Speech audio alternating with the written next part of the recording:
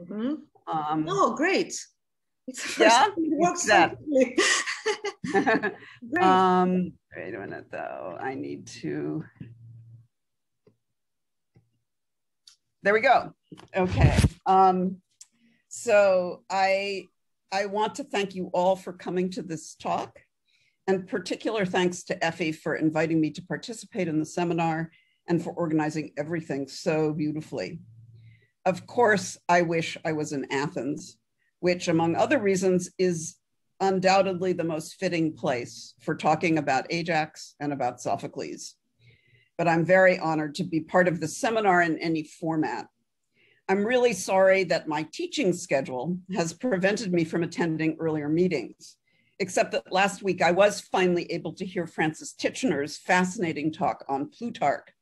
And this really reinforced for me the difference between self praise as a complicated move in real life social situations, such as those that Plutarch is concerned with, and the Homeric boast, a stylized and to the extent that it is uttered in the midst of combat, highly improbable speech genre, conditioned by the traditional medium of oral poetry, in which it is embedded and to which it is closely allied.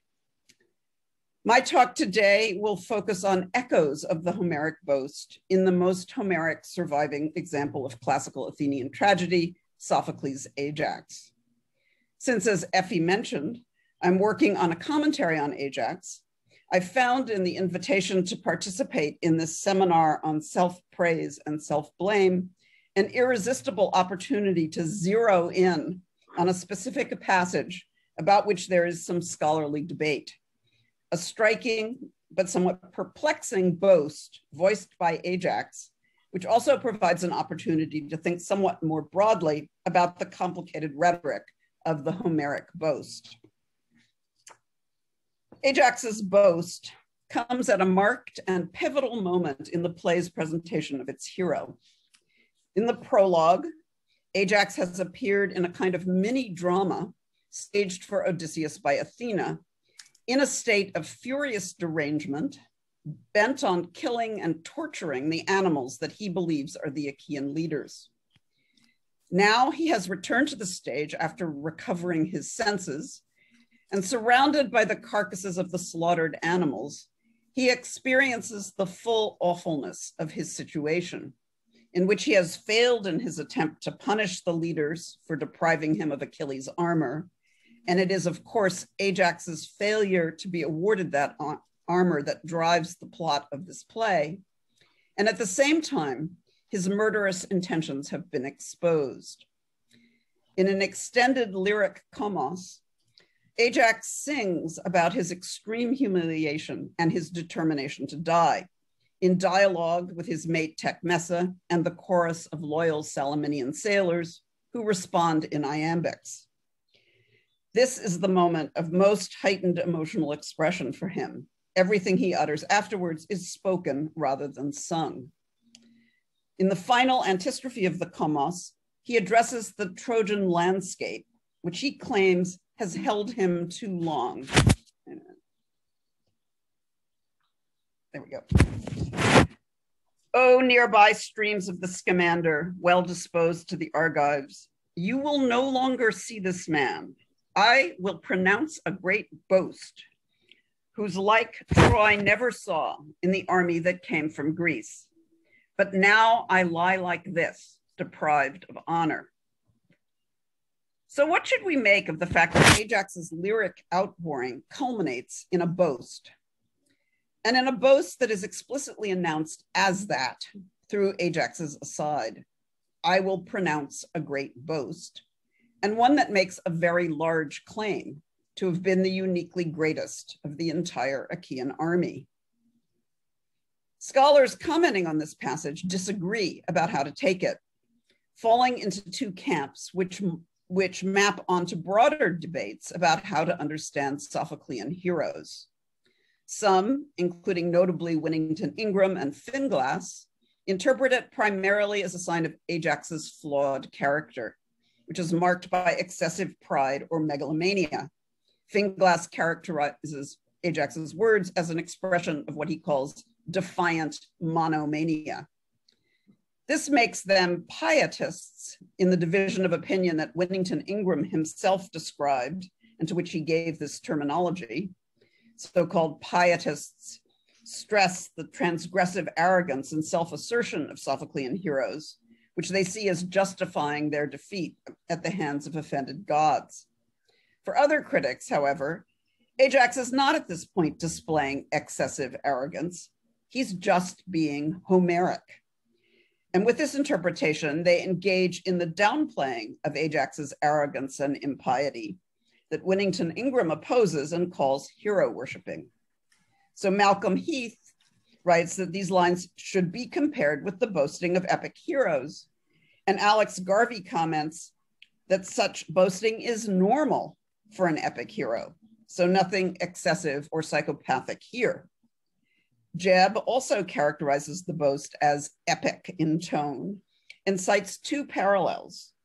One is Odysseus, as he identifies himself at the beginning of his long apologia in Odyssey 9. The other is Achilles in Iliad 18, who refers to himself as toios hoios utis achaion, of such a kind as no other of the bronze wearing Achaeans. This Iliad parallel is regularly brought up by other commentators as well, beginning with Eustathius, who believed that Ajax's words were in fact modeled on this passage in Homer, as was to be expected from Sophocles. This enabled the Homer loving Sophocles to make Ajax say about himself that he was such a kind as Troy had seen no one like in the army that came from Hellas. And notice that Eustathius, in the paraphrase that leads up to his summary, his quotation, has added a toiuton that makes Ajax's boast resemble Achilles' toios hoios even more closely. Especially given how close this parallel is, it does seem, seem worthwhile to follow up on these suggestions that Ajax's words need to be considered in relation to the boasting of Homeric heroes especially since the play does demonstrably have the Iliad in view. But that comparison also has to be undertaken with awareness that a parallel does not necessarily mean an equivalence, and that Sophocles uses Homeric references in Ajax as much to draw distinctions as to establish continuities, something that Pat Easterling demonstrates very clearly in her important analysis of Sophocles' reworking in Ajax of the scene between Hector and Andromache, in Iliad 3. Clearly reminiscent as they are of Homeric boasting, Ajax's words are also significantly different in a number of important ways. One is the relationship they bear to poetic tradition. The heroes of the Iliad operate in a context in which their place in that tradition is still in formation. And when they boast, they are attempting to launch and solidify their future reputations. When a hero praises himself after having done something on the battlefield, it is as if he is converting his own action into an immediate and authoritative spoken record, a first draft of the tradition he hopes will be perpetuated forever after. When boasts come before a battlefield encounter, they are projections, forecasts that the hero speaking them hopes will be converted by the narrative into established fact. They represent attempts, sometimes successful, sometimes unsuccessful, to preempt a tradition that is still developing. Either way, these heroes are trying to shape from within the poem the process that the poem itself is engaged in of creating and maintaining kleos. That is why the right to boast is presented as, as itself the prize that they are fighting of, over as in Sarpedon's famous words when he calls to Glaucon to go into battle by saying, Let us go and give someone a boast, or let someone give it to us. And as Leonard Muellner showed in his study of euchomai and its cognates, cognates, the term euchos is closely related in its position and phraseology to terms for more established forms of praise, such as kudos and the highest prize of all, kleos, the form of praise that is congruent with the poetic tradition. Sophocles' version of Ajax, on the other hand, may be speaking at the same point in mythological history, but in literary historical terms, he comes much later, and his words sharply contradict a long-standing tradition about his stature that was already alluded to in the Iliad, but that had only become more firmly established in the intervening period to the point where it was a recognized truism and a signature feature of his identity. Rather than being someone who had no like in the Achaean army, as he tries to claim, Ajax was known for being the next best in that company after Achilles. This is stated in the Iliad in relation to the Iliad's own central theme of Achilles' withdrawal in a kind of summary of the catalog of ships in book two. Um, of men, that is men in the Achaean army, by far the best was Telamon, was Ajax's Ajax, son of Telamon, as long as Achilles was raging. By the time of Sophocles and his audience, Ajax's next best status had been reiterated in many other poetic and artistic media. We have allusions to it in surviving poems of Alcaeus and Pindar, and it featured in several skolia or popular drinking songs, as in this example, um, in which it is explicitly stated that this was Ajax's reputation. Legacy, they say, that you were the best of the Danaans who came to Troy after Achilles. And note also the same way of designating the Greek army as those who came to Troy. The relative statures of the two heroes is literally depicted in the famous vase painting by Exekias of the two of them playing a board game, where Achilles is taller, in part by virtue of the helmet he is wearing. This is just one of several depictions of this scene and may possibly allude to an otherwise lost epic tradition that it was through a roll of the dice that this ranking was conclusively established. In light of this firmly established tradition, Ajax's counterclaim in Sophocles' play has to have seemed jarringly inauthentic to the original audience, as the claims of Homeric heroes would not be, even ones that prove in the event to be equally unfounded. So, for example, before fighting Sarpedon, Tlepolemus gives a longish boast in which he celebrates the achievements of his father Heracles in the first Trojan War, and then predicts that Sarpedon will not be a source of protection for the Trojans. I don't think you will be a savior for the Trojans, even though you are very strong, but you will pass through the gates of Hades, defeated by me.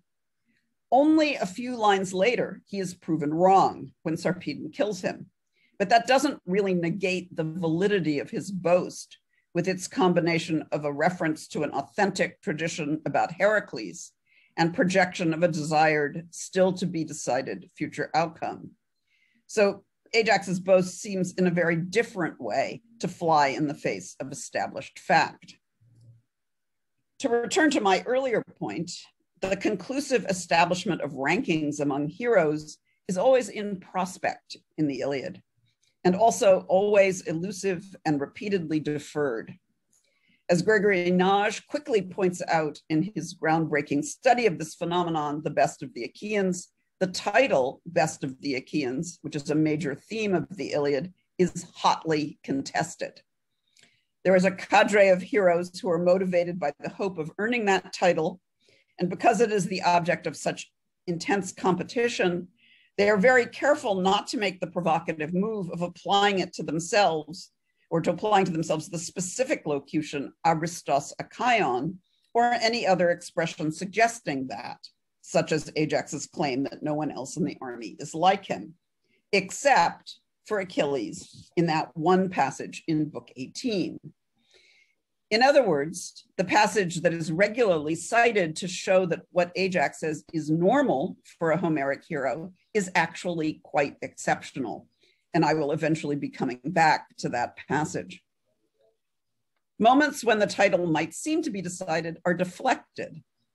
One reason for this is indicated by Odysseus as he plays his own traditional Iliadic role of keeping order in the Achaean camp lying low until the right time for him to shine, which is destined to come well beyond the confines of the Iliad's plot. This is during the night raid in Book 10, when Diomedes has been charged by Agamemnon with selecting as a companion the Aristos, the best of the group of volunteers, who are all the leading Achaeans except Achilles. Diomedes picks Odysseus, citing his cleverness and his special support from Athena, and Odysseus accepts the call, but refuses the title, acknowledging that it might not be acceptable to the others. Son of Tydeus, don't praise me so much or blame me. You are speaking to Argives who know about these things, but let us go. Both the harmonious functioning of the Achaean army and the ongoing movement of the Iliad's plot depend on the withholding of a conclusive designation of anyone as the unrivaled best, even though, as Odysseus suggests, the Argives do have their views of this, as does, in fact, the poet. In constructing the narrative, the poet also necessarily curtails moments of premature decision, as in the duel between Hector and Ajax in Book Seven. This is an occasion that might test the question of whether Ajax's resemblance to Achilles is sufficiently great that he could defeat Hector. But that is in fact left unresolved. The way the duel is going, it looks as if maybe he could. Then it ends with the arrival of nightfall before that can be decided. The question of who really can defeat Hector and whether stopping Hector will depend on Achilles' return is left open so that it can generate further developments in the plot. As Hector indicates, Ajax has been shown on this occasion to be the best of the Achaeans, at least with the spear, but the contest between them remains undecided. Ajax, since a god gave you stature, strength, and intelligence, you are the most powerful of the Achaeans with a spear. But we should let, let, uh, let I'm sorry, we should um, leave aside fighting and hostility for today. Later, we will fight again until a God decides between us and gives one of us victory. Not only do, um, sorry, not only do heroes have to be careful about the reception by human auditors of their boasts, as Odysseus suggests, um, or even of um, extreme claims about them made by others, they also have to be mindful of the ever present divine audience. The gods are at once the knowledgeable listeners who can authenticate a hero's claims and thereby turn those claims from hypotheses into authoritative traditions, and the source of those powers on which the hero's claims are based, for which those gods demand adequate recognition. So, in authoring these high stakes self descriptions, heroes have to successfully combine the overlapping factors of divine sponsorship and personal merit. Thus, relying again on Muellner's study, Euchomai and Euchos, the Homeric terms of art for boasting and boasts, simultaneously designate praying, vowing, and what we call boasting, so that a boast also implies an appeal to a god and a promise, linking self assertion to an acknowledgement of an ongoing relationship of patronage, dependence, and obligation. The, the gods must not go without credit, although ideally they should not get all of it, as they do in Hector's somewhat grudging concession to Ajax. So it's interesting to see Ajax himself managing this in a quite complicated boast of his own that happens in the run up to the duel. When he sees that his has been the winning lot in the in the lottery to determine who will face Hector. Um, he announces, "Oh friends, the lot is mine, and I rejoice in my heart because I I think I will defeat godlike Hector. But now all of you, while I am putting on my battle armor, pray to Lord Zeus, the son of Kronos, silently to yourselves, so the Trojans won't hear, or openly, since we need not fear anyone, and no one who wants to can beat me back if I don't let him, by force or by skill, since I do not think I, who was born and raised in Salamis, am such a novice. So, as Ajax makes an optimistic prediction, one of those that ultimately proves false, He also admits that Zeus's help must be solicited. But then he backtracks a little, giving just a little prominence, less prominence to his dependence on it. It would be all right, he suggests, for the Trojans to know that the Achaeans were praying to Zeus, which presumably might lead them to try to counter with a prayer of their own or some other extra effort, because he himself is so great. And he mentions his illustrious Salaminian origins as a sign of that. Returning to Sophocles, his version of Ajax differs significantly from the Ajax of the Iliad precisely because he has a history of boastful speech that flagrantly fails to meet this requirement, that actually takes the form of aggressive refusal to acknowledge the need for divine help. This isn't dramatized within the play itself, but is narrated in a messenger's speech reporting a conversation in the Achaean camp. There, the prophet Calchas has explained that Athena's intense anger at Ajax was caused by these boasts. And the fact that they are conveyed in a third person narrative allows for repeated explicit characterization of his words as transgressive and unconventional boasts. The first of these occurred when he was leaving Salamis for the war. When he was setting out from home and his father gave him good advice, he was found to be witless. His father told him, Son, you should want to win with your spear, but always with a God's support. But he responded boastfully and thoughtlessly Father, with the gods, even a nobody could prevail. But I am quite sure that I will gain this glory without their help. So great was his boast. The second time was later during the actual fighting at Troy, when Athena appeared at Ajax's side to encourage him. Then he answered with a terrible, unspeakable speech. Goddess, stand by the other Argives. Where I am where I am stationed, the battle will never break in. With words like these, he earned the goddess's relentless anger for not thinking mortal thoughts. These events are clearly incompatible with the Iliad, where the version of Ajax who appears there simply would not behave that way. And in fact, he is never portrayed in the Iliad intersecting with Athena or with any other god. That in Ajax, we see, and then later in this messenger's speech, hear about a version of Ajax who is incompatible with earlier traditions, is actually acknowledged by Athena herself at the end of the prologue. During the preceding scene, she has put Ajax on display for Odysseus in a deranged state that is caused by rage over the loss of Achilles' armor and delusions sent by Athena herself. There, he has demonstrated a great deal of arrogance and has explicitly claimed the right to boast.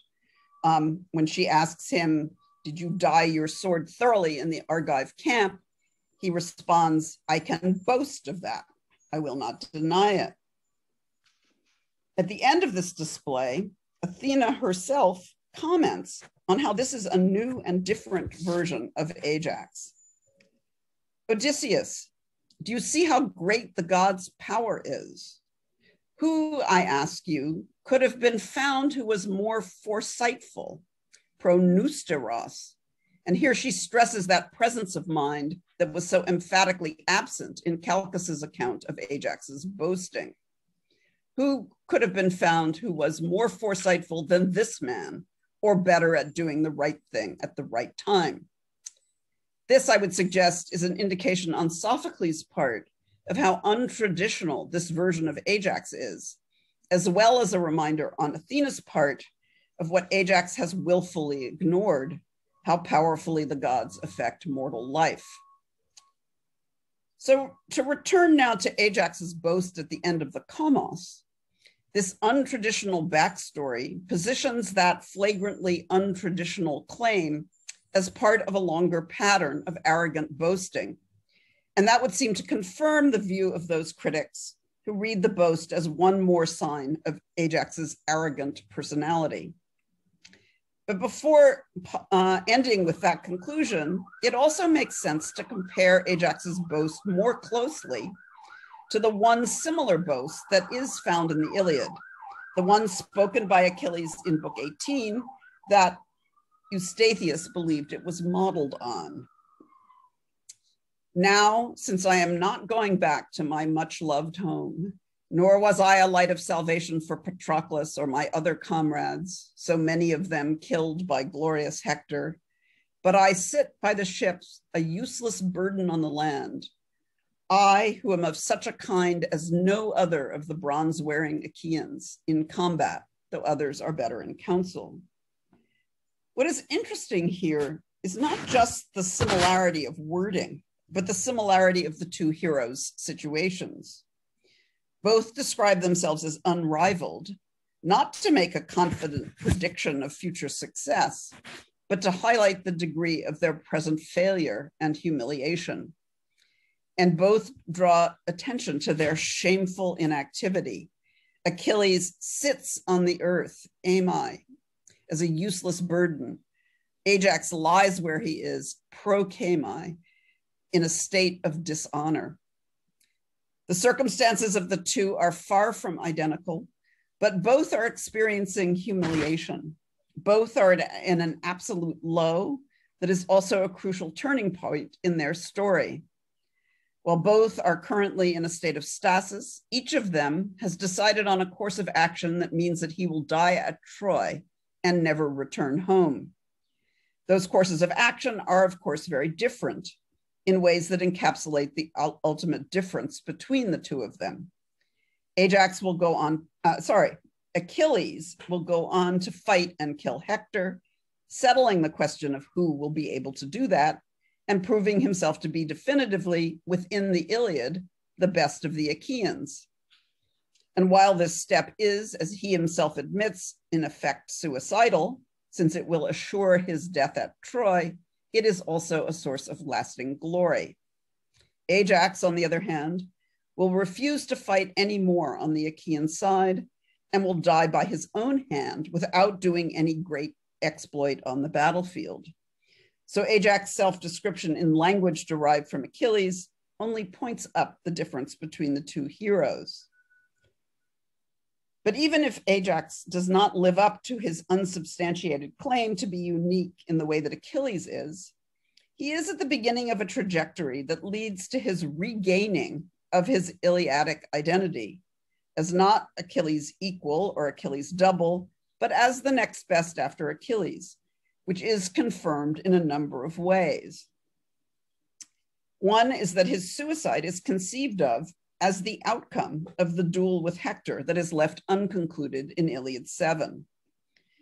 Much is made by Ajax himself and by his half brother Teucer of the fact that the sword with which Ajax kills himself was given to him by Hector at the end of that duel, and it now reappears as an instrument of ongoing enmity rather than a gift of friendship. So Ajax is in effect killed by Hector, as Teucer points out. Did you see how in time Hector was destined to kill you, even after he was dead? While some balance is maintained when Teucer goes on to observe that the belt Ajax gave Hector attached Hector's body to the carriage behind which Achilles dragged him, Ajax was not himself Hector's killer.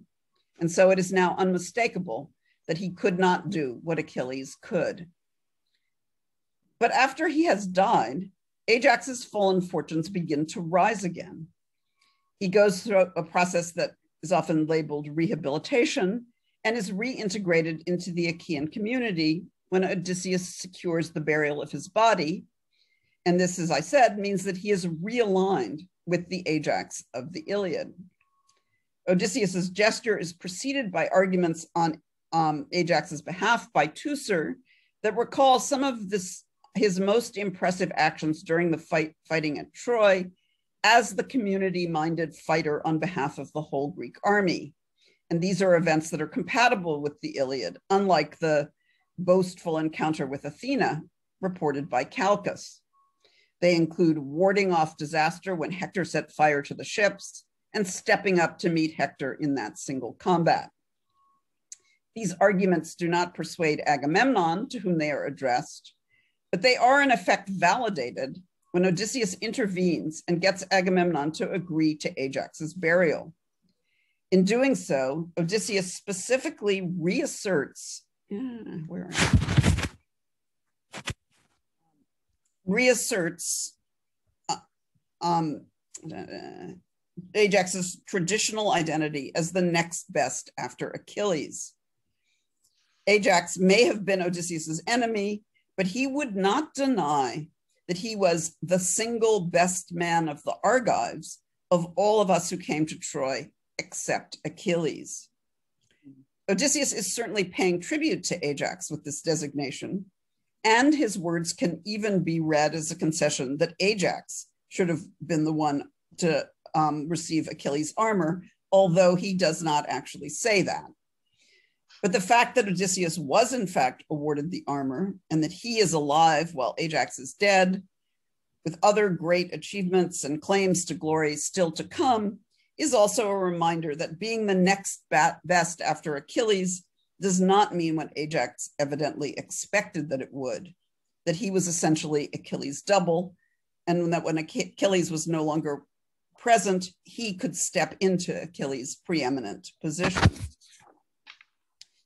For a different understanding of what it might mean to be the next best after Achilles, we can return once again to Book Seven of the Iliad and to another boast spoken there by Ajax himself. Holding this, and this is his great sevenfold shield, holding this in front of his chest, Ajax, son of Telamon, stood right by Hector and spoke threatening words. Hector, now you will clearly see, one against one, what the best men of the Achaeans are like. Those next after Achilles, the lion hearted breaker of men. He lies by his high peaked sea crossing ships, raging at Agamemnon, shepherd of the people. But we are such men as can stand up against you, and we are many. So now begin your fighting. Even when he has just been singled out as the outstanding Achaean, the one who is best suited to meet Hector one on one, and therefore is the one who resembles Achilles most. Ajax also identifies himself as just one of a group of heroes, none of whom is, is as good as Achilles, and none of whom could actually defeat Hector, though, of course, he is not prepared to admit that at this moment. And this is the role that Ajax plays throughout the Iliad as the Herkos Achaion, the defender of the Achaeans, the leader of a group effort that keeps the threat posed by Hector at bay, but never overcomes it. And that entirely traditional version of Ajax is the version that emerges in the final sections of Sophocles' play, and is honored when his body is allowed to receive proper burial. The idea that Ajax's burial means that he is being honored for his service to a community is further reinforced if one accepts, as I myself am inclined to do, that the play is alluding to Ajax's future status as a cult hero in Athens. If that is the case, then Ajax's transgressive actions and his transgressive speech in the form of a series of boasts are not just pre- preludes to his eventual receipt of an honorific burial, but necessary conditions for it.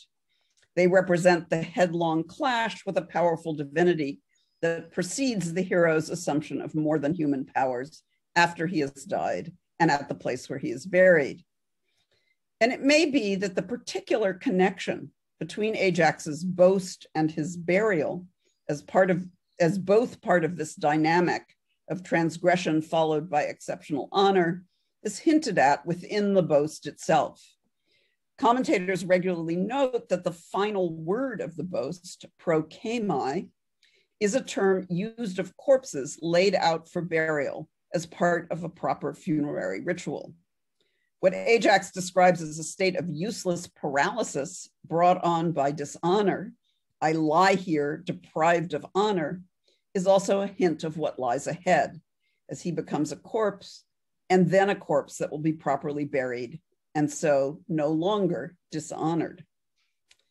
So, to conclude, the striking boast, explicitly marked as a boast, that Sophocles has Ajax sing at this pivotal moment in the play is an invitation to consider Sophocles' version of Ajax in relation to earlier traditions, and especially to the Iliad.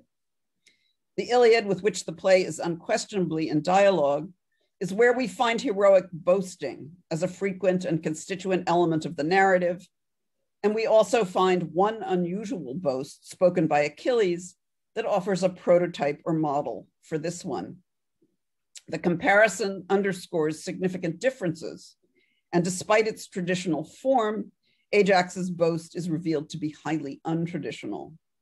For him to speak of himself as if he were Achilles is to contradict his essential identity as second best to Achilles. And in relation to the previous history he's given in the backstory of this play, it serves as the culmination of a series of boasts that aggressively break the rules of Homeric boasting by denying the power of the gods. And in these ways, it does, as some critics claim, contribute to a portrait of Ajax as offensively arrogant. But that is not the whole story, and we are only a third of the way through the play at this point. And those who stress the Homeric flavor of this boast, and especially its relationship to Achilles' boast in Book 18, also have a point. It is not really possible to capture Sophocles' multi layered and shifting portrait of Ajax from either a strictly pietist or a strictly hero worshiping position. And those are, of course, extremes that few critics actually adopt. One of the most challenging shifts Ajax undergoes is from being radically unlike his traditional Homeric self to being very much like him, both in his inability to be the one who defeats Hector and in the way he is remembered. By echoing Achilles in his boast, Ajax shows how little he understands his own position, but he also places himself in a Homeric context at a turning point in his evolution when he is returning to his senses and beginning to move back towards the identity he had in the Iliad. He cannot do what he is trying to do here, which is to step into Achilles' place, but he can regain his lost honor through his traditional identity as the next best after Achilles an indispensable member of the community who serves that community by fighting in the hope of earning the status of best, which for him will always stay out of reach. Thank you. Uh, thank you very much, Richard, for this uh, very. I'm trying to come back. yeah. yeah, okay. Yeah. Am. Thank you very much for this uh, very insightful talk convincing for me. Um, would Professor Roberts would like to kick the discussion? Professor Roberts. Uh, a, a, really interesting paper. I'm not sure I have an immediate question, although I guess um, I, this is a little bit of field, but the conversations about where people do and don't call themselves or get called best of the Achaeans. This is a sidestep from Ajax, but since I'm being asked to start this off, um, there's that moment in the in early in book one where uh, Achilles refers to Agamemnon as somebody who boasts that he is best of the Achaeans. And I wonder if there are other instances of that kind of sort of secondhand referring. You were talking about the fact that people tend, yeah, so that that was just a thought. It, I, it is definitely a sidestep from your focus, which I found completely your argument completely convincing, and so no questions about. Yeah, I mean, so so that moment in book one makes it clear, you know, from the get go. Sorry.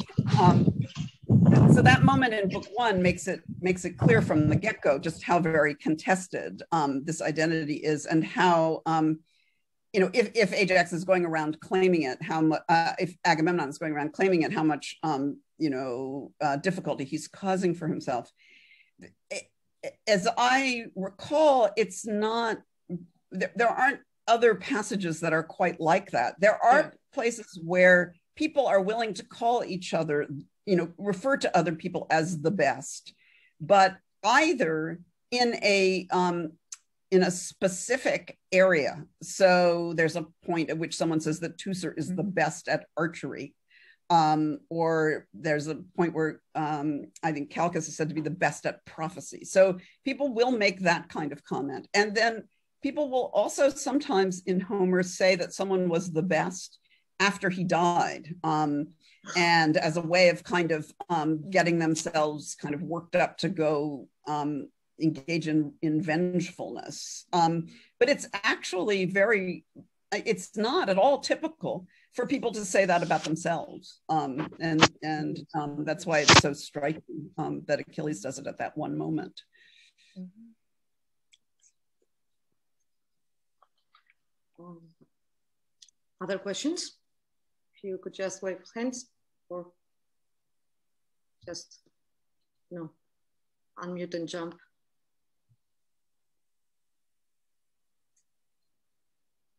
Okay. Uh, I'm not seeing any hands for the time being. So can I ask you, Bridget? Um, I, I, found your argument very convincing, by the way. Um, I would just uh, like to start uh, with uh, uh a pragmatic question, first of all, uh, about the, in the Iliad, about Ajax not intersecting uh, in any form with any god, right, or divine. Yeah.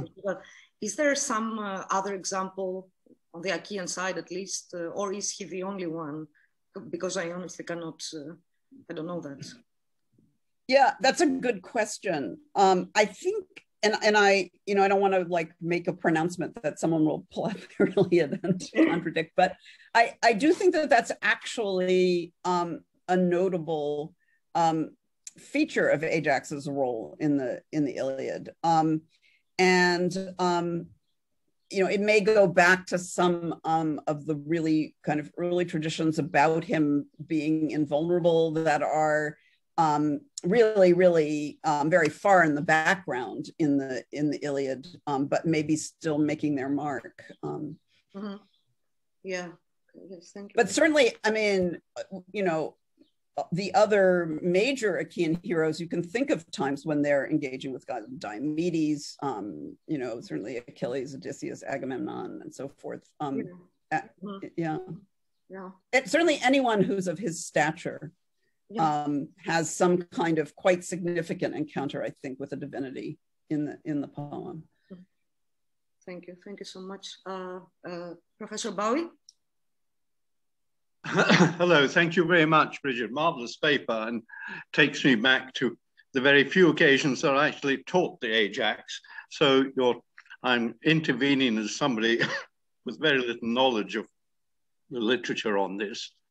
But I wonder if there's anything significant in the choice of the word epos in your first passage, epos exero mega, which yeah. as far as I know is not part of the traditional vocabulary of boasting in itself in the Iliad, but I may have forgotten passages. It's associated with other self-declarations, but not a euchos. Um, yeah. And I, I'm sorry, I wonder if if it is as unusual as I think it is, whether there is some hint here to ask his audience to compare epos with tragodia um, uh, yeah, no, I think I think you're absolutely right. I think that um, the word that is more uh, often used for for um, boasting, I mean, aside from like the technical term euchos in in the Iliad would be muthos, um, and um, I absolutely, um, yeah, I think you're right um, that that could quite. I mean, it's I just um, you know I'm not it's one of those things you can never be completely certain about, but I think that it's actually very suggestive because it really does seem like this is a moment when um, we're being asked to think about um, Ajax in relation to, to Epos, absolutely. And I, I, I mean, I feel the same is really true of that thing that Athena says about, you know, notice this isn't the way he used to be. This isn't the way he would appear in the past. And I think she really means in the literary, I mean, in the literary historical past. Um, I, I don't think, you know, Sophocles is nowhere near as sort of overtly um, calling attention to what he's doing as Euripides is. But I think that there are hints, um, absolutely, in moments like that. Thank you very much. Uh, Professor Valakas, please. Uh, thank you very, very much for this presentation. Uh, years ago, I did some work on Homer and Sophocles' Ajax, and I, I fully understand and agree with your interpretation in terms of this play being um, in favor of the honor of Ajax in Athens and Salamis, the, the cult of Ajax. Um, so may I just ask, um,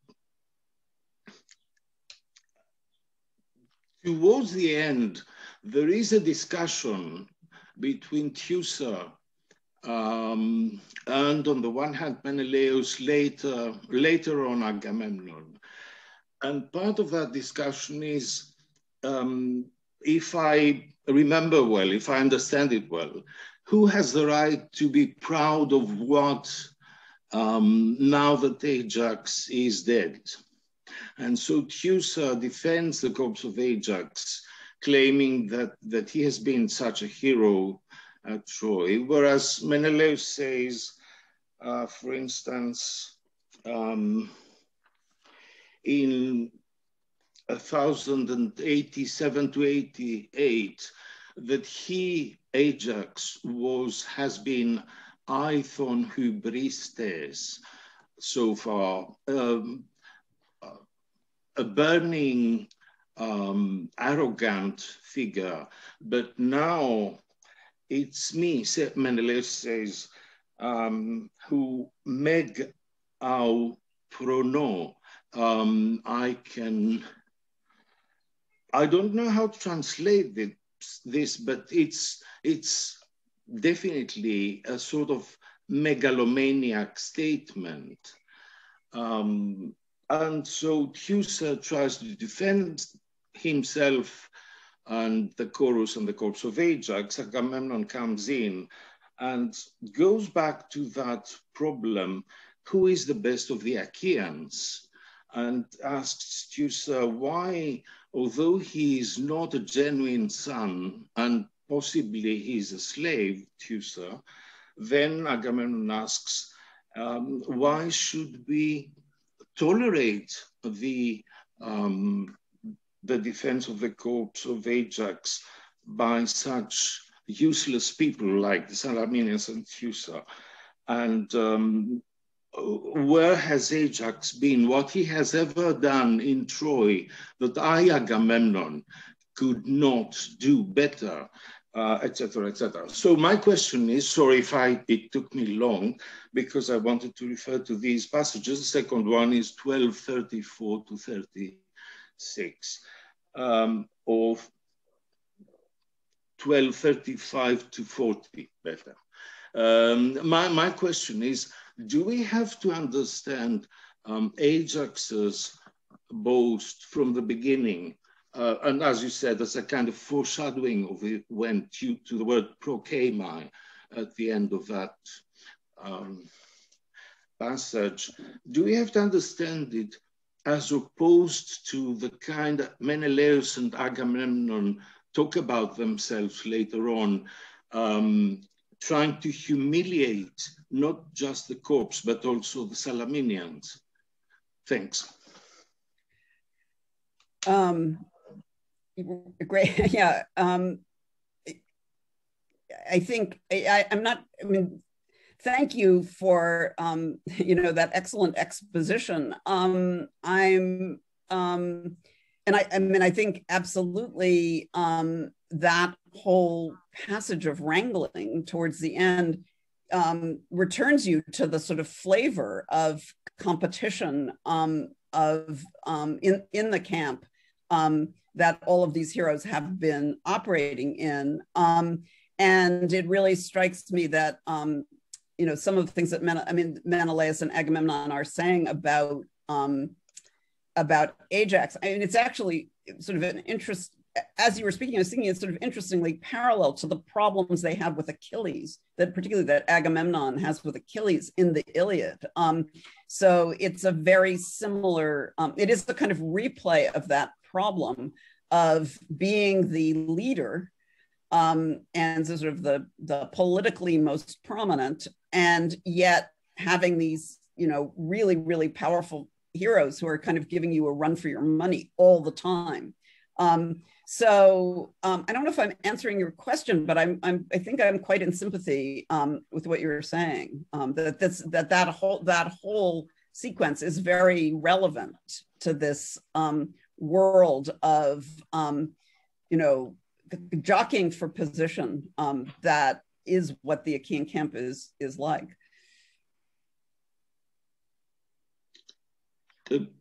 I wasn't sure whether you would accept that there is boasting by Menelaus and Agamemnon in the end, because I have not, I have not properly checked the phrasing.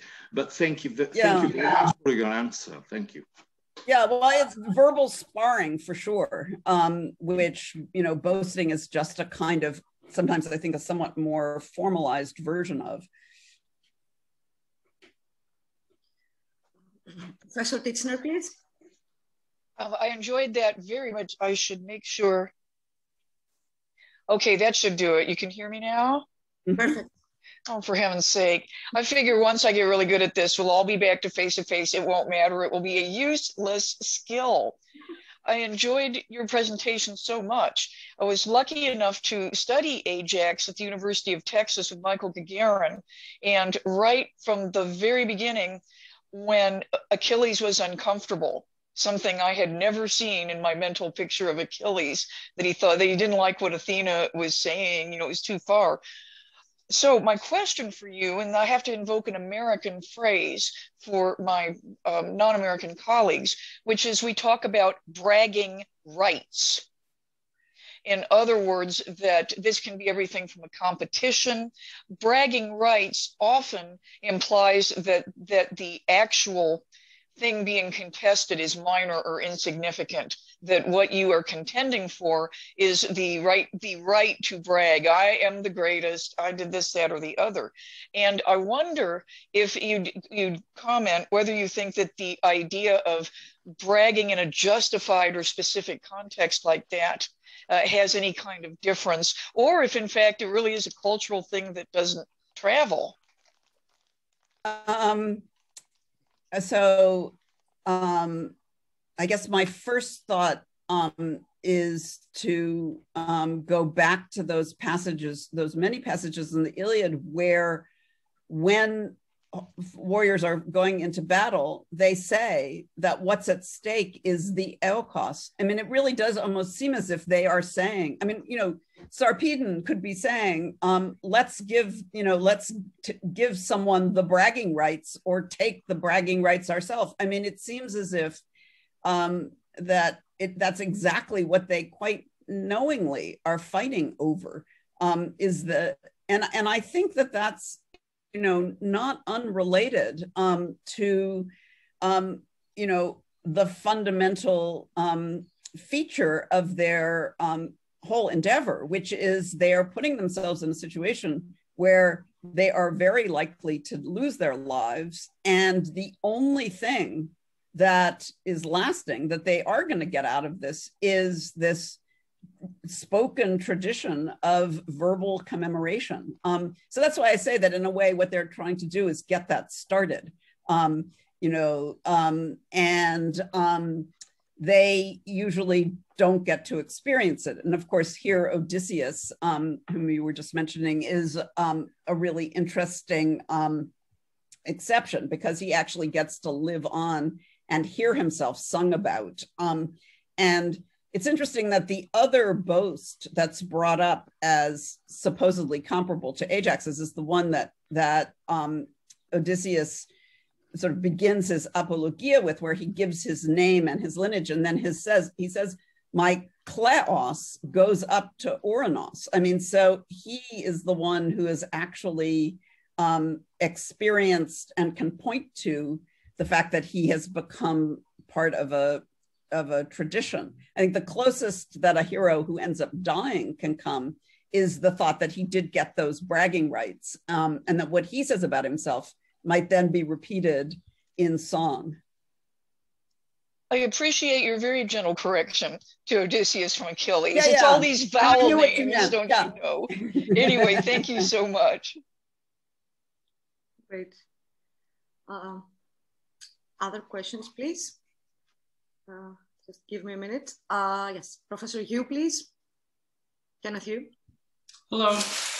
Hi, hi, hi, Bridget. I don't know if you remember me. We we saw each other in London a couple of years ago. Mhm. It's great to see you. Um, thank you for the talk.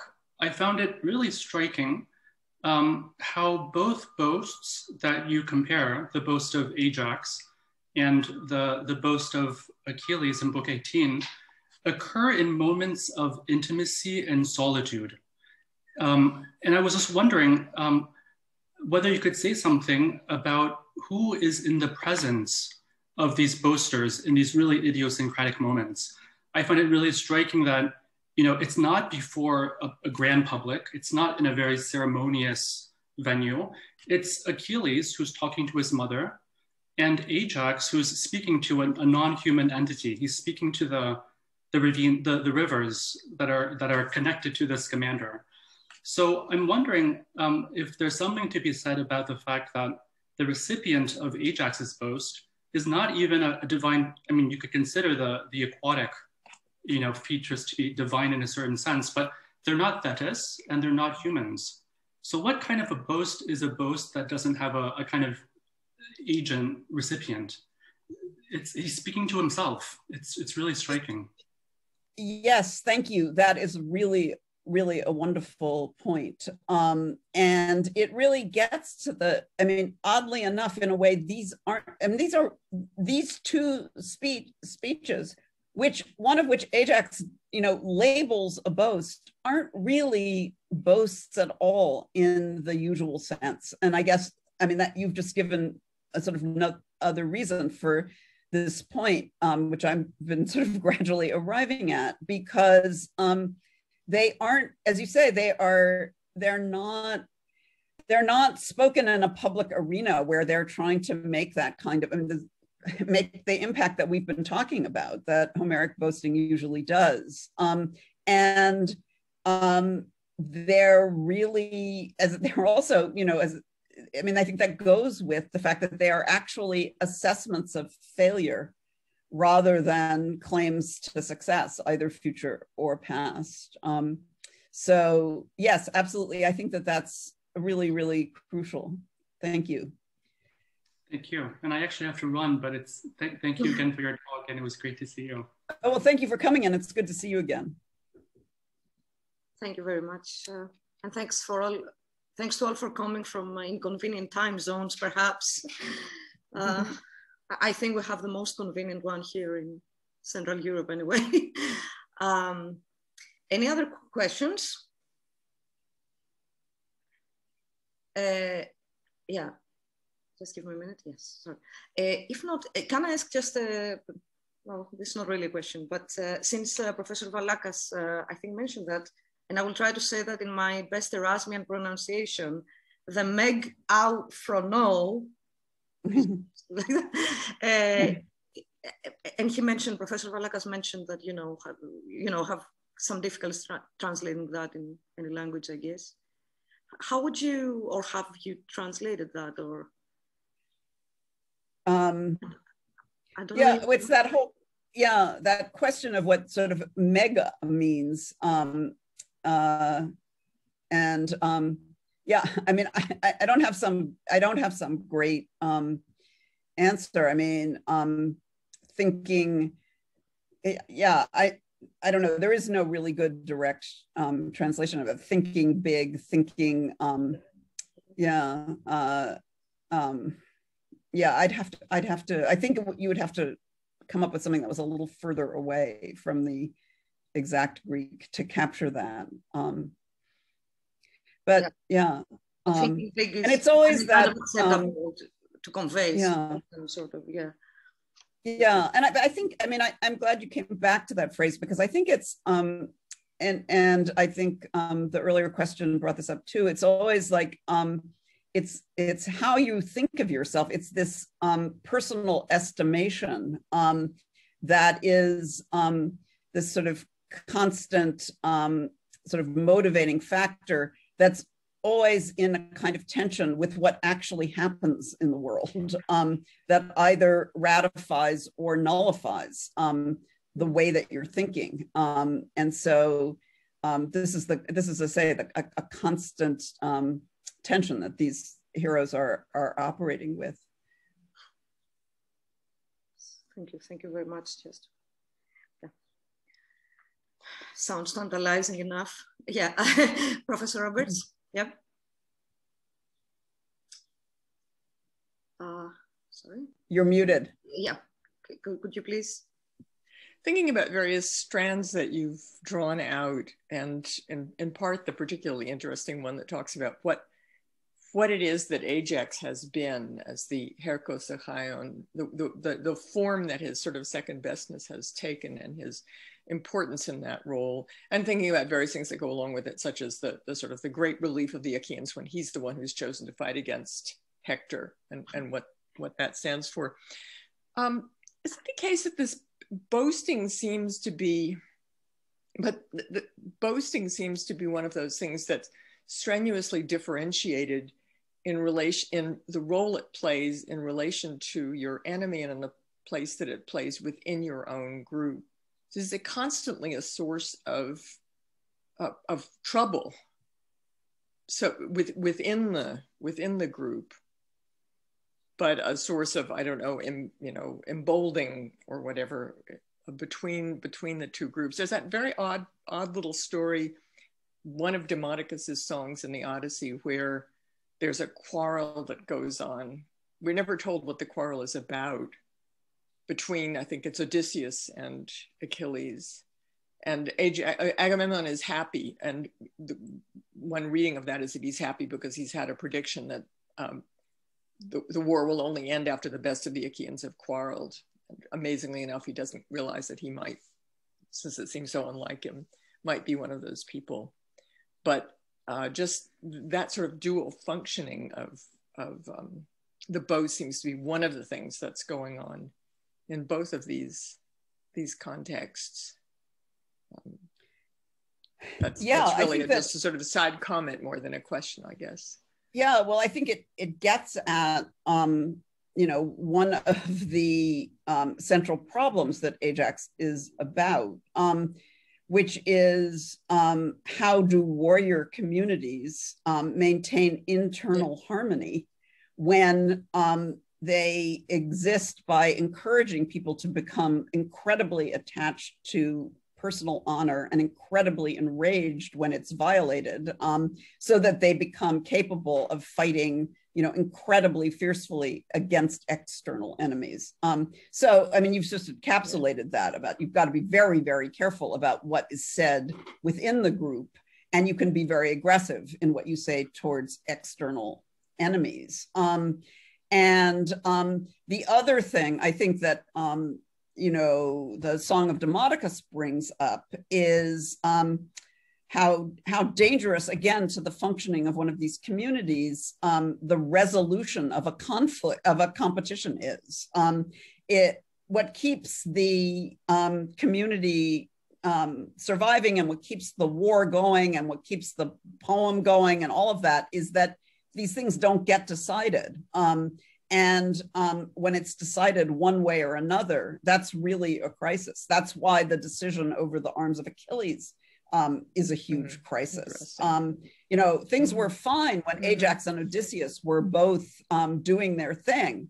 Um, but um, once it had to be decided which one of them would get the armor, then it really, really created a problem.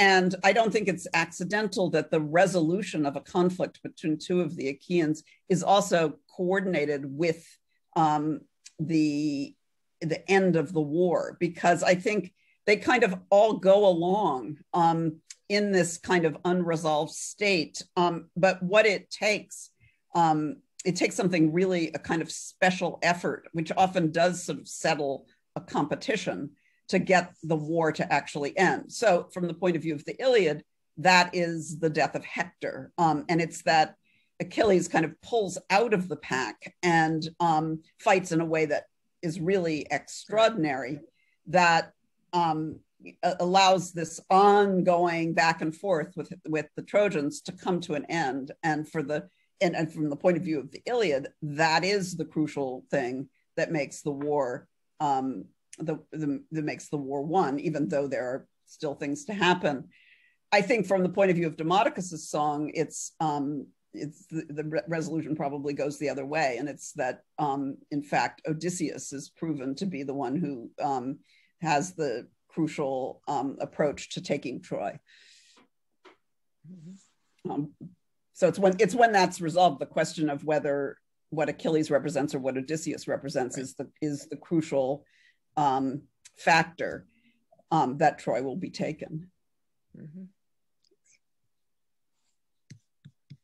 So, um, if there are no other questions or comments, uh, let us thank uh, Bridget once again uh, for this very stimulating paper. Oh, thank you so much for coming and listening and for your great questions. Yes. Thank you so much. And thank you very much. I, am very touched by your presentation for self-interested oh. reasons, but still, yeah, it's been a long time since hearing about Ajax, and uh, we, we, we do hope to to meet in Athens soon. Oh, I do. I, I so look forward to that. Um, very much hope that that will happen. And in the meantime, I'm really, really grateful to you for including me um, in this series. And um, and thanks yeah. to all for your participation um, and your comments. Uh, see you next time. We wait